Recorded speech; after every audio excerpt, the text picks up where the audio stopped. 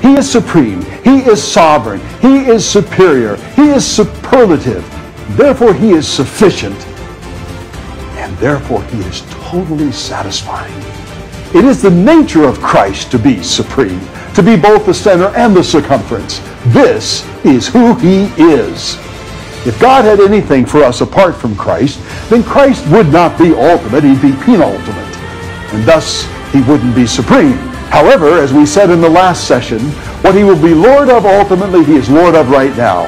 All the glory he will display ultimately, it all belongs to him right now. All the promises he one day will fulfill, he already inherits them right now. All the purposes of God he will one day bring to consummation are summed up in him right now. And even now, he has the name that is above every name, both in this age and in the age to come. Even now, he is our Lord and our God.